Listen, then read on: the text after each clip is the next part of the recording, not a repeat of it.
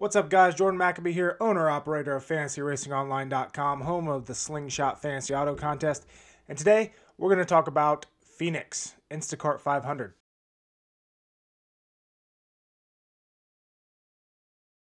All right, race number five rolls on. We're in Phoenix for one more West Coast race. Got the starting lineup uh, for Sunday's race in the desert. Got Keselowski on the pole. Keselowski on the pole. Sorry, I, I always mispronounce that. Kyle Larson starting second, last week's winner. Uh, Denny Hamlin, Christopher Bell, Truex, JGR right there, all starting top five. Got Chase Elliott starting sixth. Kyle Busch, Blaney, Logano, and Byron rounding out the top 10. A few notables starting uh, further back in the field. Kevin Harvick starting 18th. Got Matt DiBenedetto, Alex Bowman starting 20th and 21st. Uh, you know, Chase Briscoe 26th. Bubba Wallace back in 25th after his early race issues last week. And then Eric Almirola starting back in 32nd. Now let's go. So so Phoenix is a flat track. It's one mile in length. Uh, it's been through quite a bit of changes here.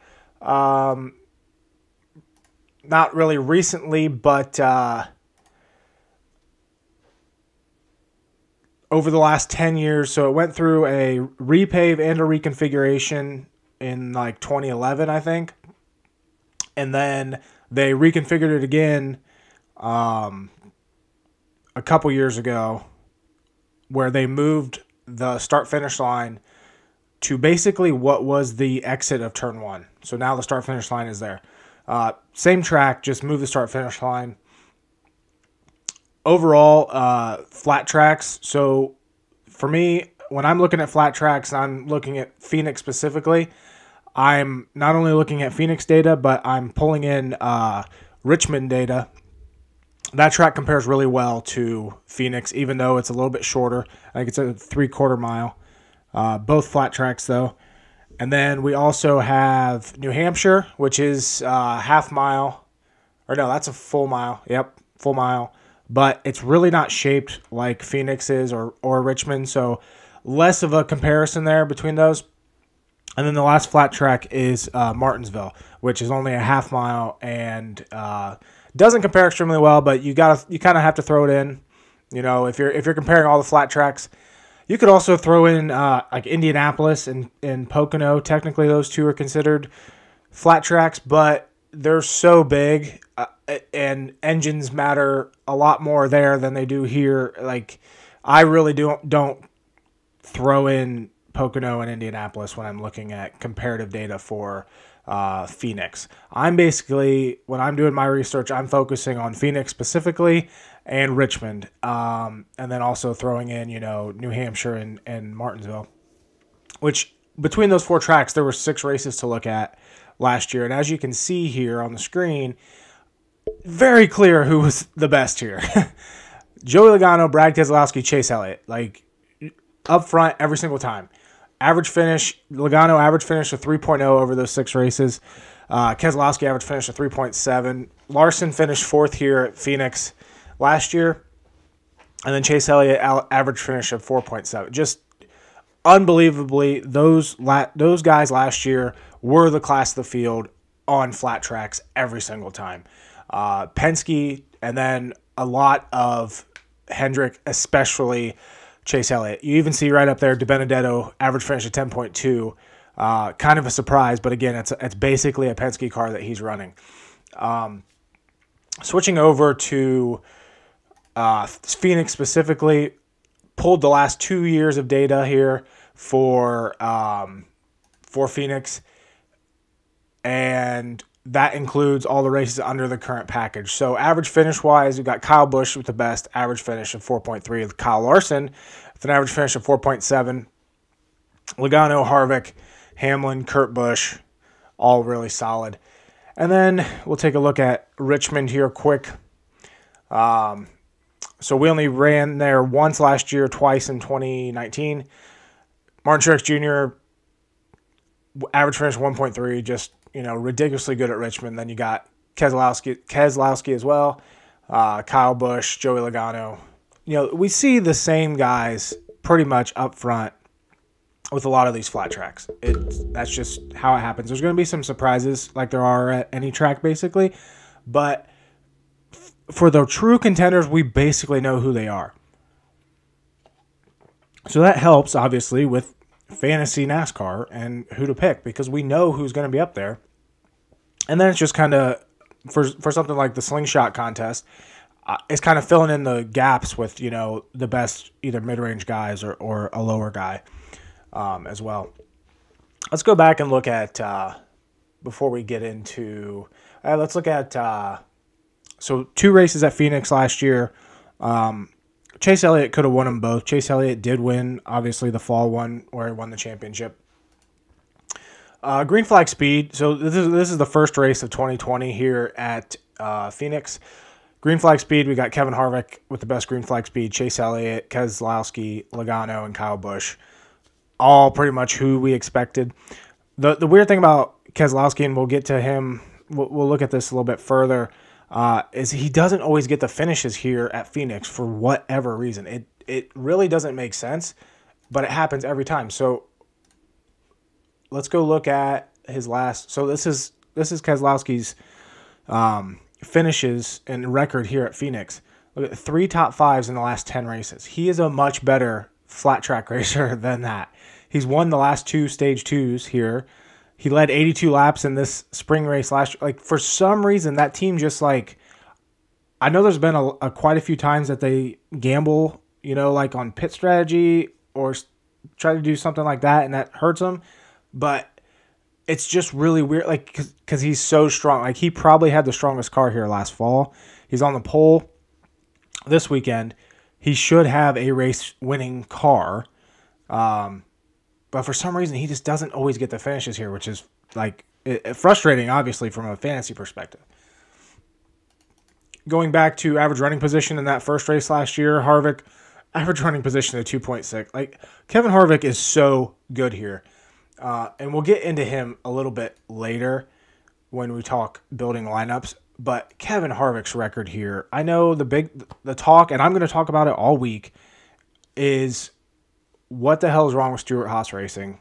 Why like it's now they they were really they were bad at Homestead. They didn't they got it figured out throughout the race kind of. But then they were really bad at Vegas. Like is it and now so so we're hitting Phoenix this week and then Atlanta next week. Arguably Kevin Harvick's two best tracks. I'm not totally concerned about Harvick. Um, maybe from like a dominator pr- perspective, I'm concerned this weekend. But from a finish perspective, I'm not too concerned with him in, in fantasy NASCAR. But if they come out and they struggle here at Phoenix and Atlanta, that's going to be a complete red flag. That's going to be, you know, we are avoiding Stewart-Haas until further notice. But we need to get through these next two weeks before we can really make that designation. So look at his record here at Phoenix, just ridiculous. Especially he went through that phase where he won every single time we can, and didn't just win but dominated. You know, there from 2013 to 2016, finished first or second in uh, six straight races.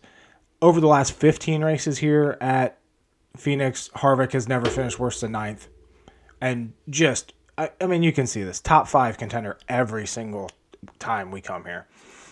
Um, now let's look at the fall race. Keselowski actually had the best green flag speed in the championship race last year.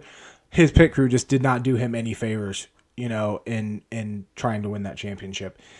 Chase Elliott, of course, had a great car, came from the rear of the field in that race, ended up dominating most of it. Joey Logano uh, dominated the first portion of that race because he then, uh, due to was he was on the front row. I forget if he started second or third, but basically what it came down to at the beginning after after Elliott's uh, where he had to go to the rear of the field due to inspection issues, it came down to who was going to lead the first section of it until Elliott got up there, uh, and it was Logano that did it. And then Denny Hamlin coming in fourth. The four playoff. So as far as I'm concerned, with this playoff race last fall, honestly, you can probably, I don't want to throw away the data, but it was so apparent that nobody gave a shit in that race except for the four guys running for the championship. Like it was, it's it's awful, or it was bad enough at Homestead throughout the years, you know. But at least guys were trying to be competitive for the first part of it. This Phoenix race, nobody cared. Like everybody, every single person in the field, I swear it was the same running order that entire day. That the entire day. It was just I thought it was an awful race, and nobody. There was zero percent chance that a playoff driver was not gonna, or uh, one of the championship four wasn't gonna win that race. It was just, I, I thought it was embarrassing for NASCAR.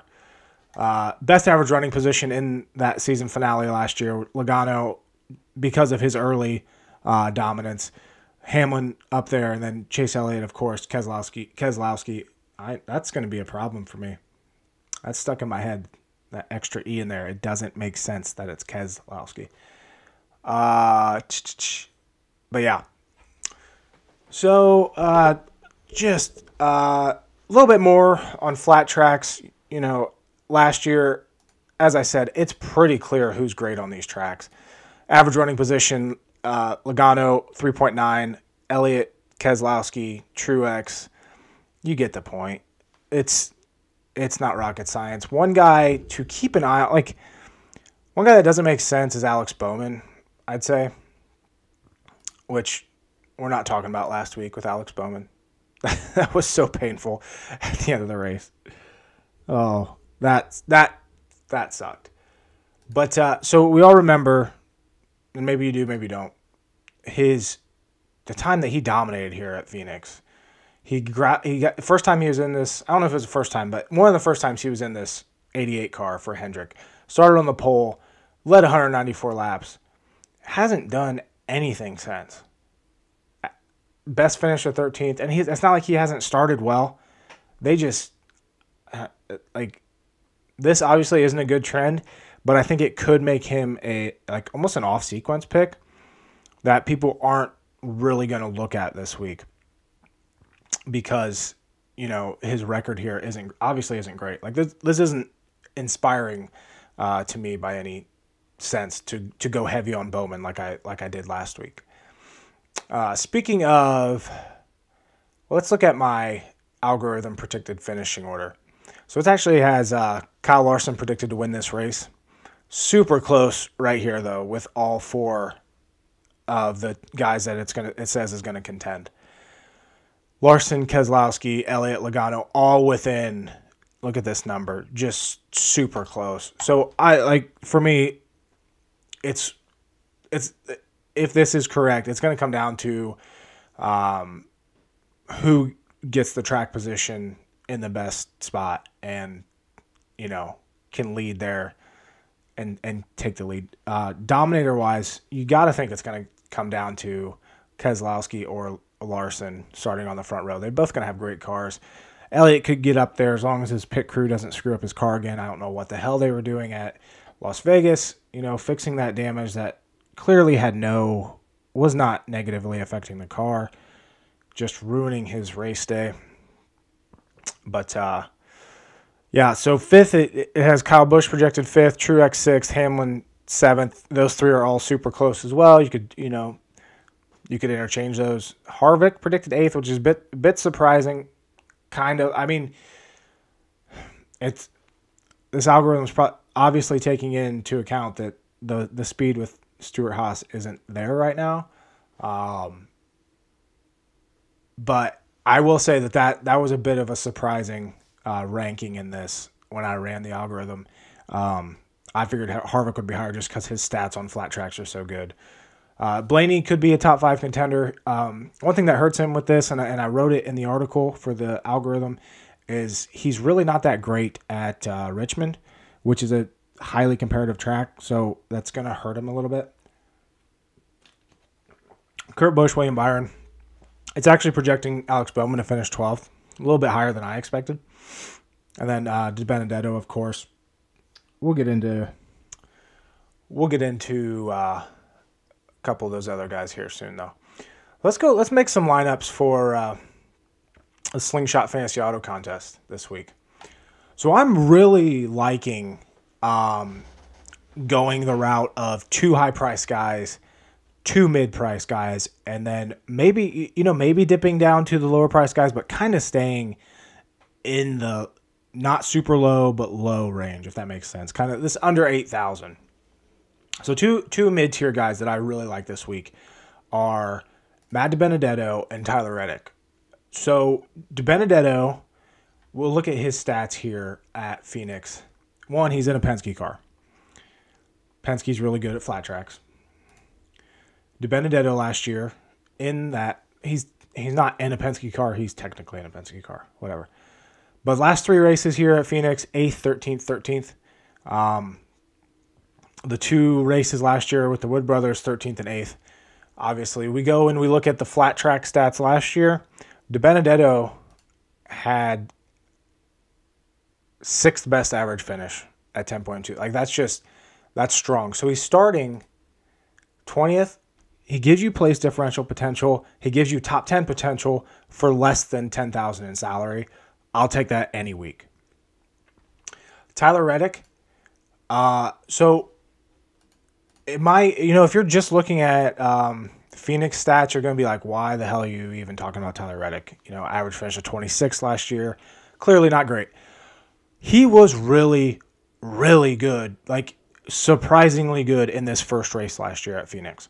Uh, as you can see here, he finished ninth in the first stage, fourth in the second stage, and then had I, I forget if he wrecked or or what happened and ended up finishing 33rd. But he had like he legitimately had a top five car. In the fall, honestly, I think they just gave up and just didn't care about that race. But you go and you look at let's look at his, the rest of Reddick's season here last year on the uh, on the flat tracks. So disappointment at Phoenix. Go to go to Martinsville, which he was a rookie last year. Remember that. Finished 16th at Martinsville, 10th at New Hampshire, uh, 11th at Richmond, and then again struggled at struggled at they struggled toward the end of the year, and they're struggling at the beginning of this year. So you could make a case for for not picking Tyler Reddick. He uh, he obviously finished second at Homestead, but these results aren't all inspiring by any means. 27th, 28th, and 22nd in the other three races this year. But I think the upside with Reddick, especially with him starting 23rd, you know, if he can get up there and grab a top 10 or even a top 12, that's going to be a solid points day for him in the slingshot contest. Now, you'll notice I didn't talk about Eric Almirola. Eric Almirola has a great uh, record here at Phoenix for what it's worth. Um, 13th, 8th, he had a bad race there last fall or 2019 fall with at 22nd. Before that though, 4th, 4th, 7th, and those are his results with Stewart-Haas. When he was with Richard Petty Motorsports, he did have a top 10 here in 2017, another one in 2015. He's pretty solid at this race track. And you could make a case, obviously you can make a case for picking Eric Almirola right here uh, starting 32nd. If he if he performs like he has in the past, he's obviously going to probably be one of, if not the highest scoring drivers in this game on Sunday. That's just a ton of place differential points. You get two points plus or minus per position. Almirola could give you a huge day, but do you trust him? Once again, like Stewart-Haas it's it's it's how much you trust Stewart-Haas. How much do you think it's a problem that they don't have the speed to start out this year at all? Like Almirola, yes, he's had bad luck this year, and that's why he's starting 32nd this week. But more than bad, even without the bad luck, he would be starting probably in the you know mid to upper 20s. It's not like Almirola or any of the Stewart-Haas cars are doing anything great this year. Harvick I think I had top five at um, Homestead, but a, tr- a track where driver talent comes more into play than the car. It's just it uh, that that pick itself comes down to whether you trust Stewart-Haas. Um, for right now, though, I'm going to stick with Reddick and DiBenedetto, and we can you know maybe maybe get Almirola in there a little bit later. So that leaves us 31,500 for the last three drivers. I don't hate one. I think Bubba Wallace is a solid low dollar option this week for what it's worth. Um, the Joe Gibbs Racing Toyotas have have always had strength at um, Phoenix. It's they've always performed well here. He's obviously not directly in a Joe Gibbs car, but he basically is. I mean, we know that it's it's comparative. But look at this. His record here with the Richard Petty car, 15th, 19th, 10th in 2018. Never really had an awful race except for his first race here, which rookie, you know, first race. So if we throw on Bubba Wallace in this lineup, starting 25th, I like that. You know, he's not, he has the potential if he moves up, you know, five, if he finishes 20th, he's going to get you positive 10 place differential points. I think that's a good value. Um, if you don't trust Bubba, Daniel Suarez obviously is a is a good value starting 27th, has the same potential. I'm still a potentially a Corey LaJoie guy. That car keeps breaking, but uh, starting 33rd, he should be able to move up to the to the 27th or you know a little bit higher. Um, so that's going to get you those place differential points if he can finish that race. Starting 33rd, only 6,000, fitting him into a lineup allows you to grab the top guys. So just for an example here, we so we got DiBenedetto Reddick. If we throw on LaJoie, it leaves us uh, 25,500 for the last two guys. We could grab Harvick. It leaves us 13,000. So we could then, you know, pick up Truex and instead of Reddick, go Almirola. Truex, Harvick, Truex, Almirola, DiBenedetto, LaJoie.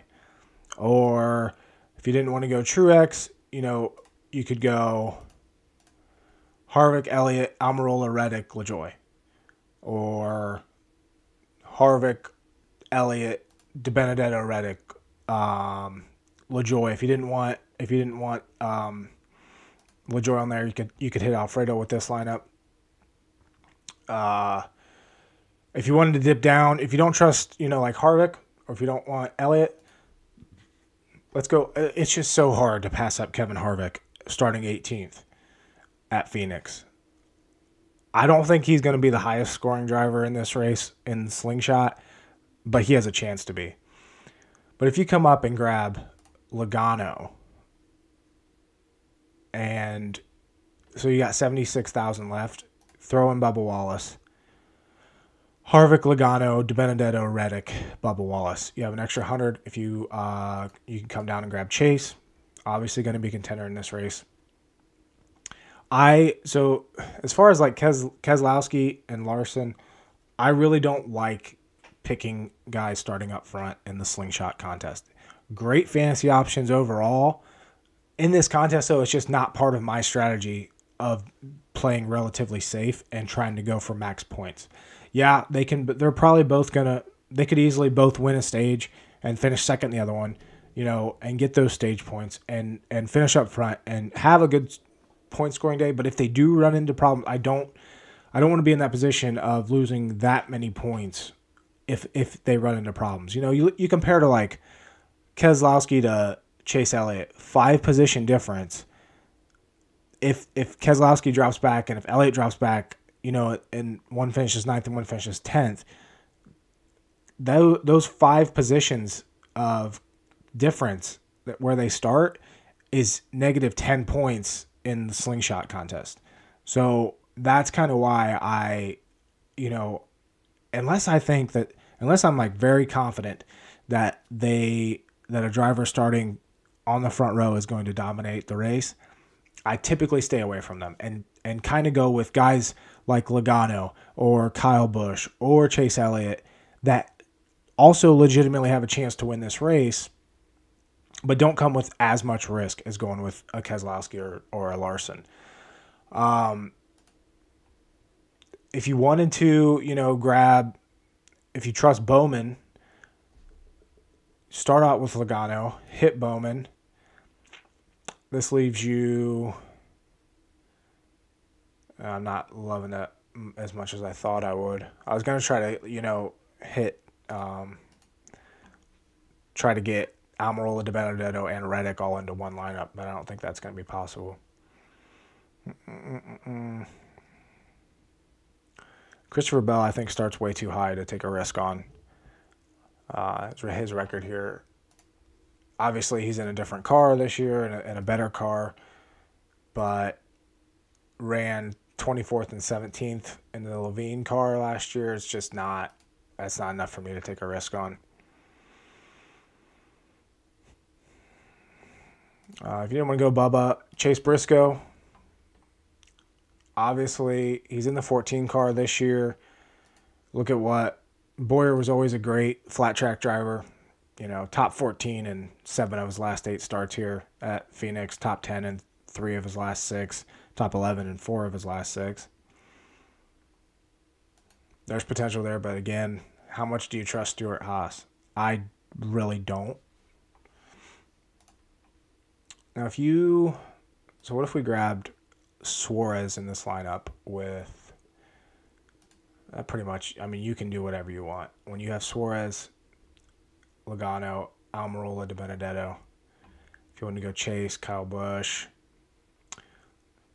jump down to Bowman, Blaney, or Harvick, of course. What would it take to get you know if you wanted Harvick and Chase Elliott into one lineup you're you're probably going to be forced to come down here and grab Anthony Alfredo. And then yeah Harvick Chase DiBenedetto Reddick Alfredo or LaJoie not my favorite lineup I think Logano is a, is a great value play here at 11,400. Won this race last year. Has the place differential um, to score those points starting ninth. Uh, could win the race. Um, yeah, I, I really like targeting this area right here. Almirola, Reddick, or DiBenedetto. I don't see being able to fit all three into one lineup and having a, a great lineup. It's a, it's a it's a safe lineup, but I think you have to pick two of those. Uh, one of the one of the lower dollar guys, you know, Chastain, Bubba, uh, Suarez, or LaJoie. Those are basically the four that I would I would uh, look at targeting, and then then it comes down to up top who you want. You know, do you want Harvick in that place differential potential, or do you want? I don't. I don't know if Harvick can win this race. That's my thing. Or do you grab Chase Elliott, who should be a contender, um, or really anyone? Again, we know who's strong on flat tracks. It's just finding the right combination now of uh, of picks. But yeah, Sunday, Phoenix. Good luck. Got Atlanta next week, and then the dirt race at Bristol which I'm already not really looking forward to. That's going to be crazy. But uh, yeah, good luck. See you next week.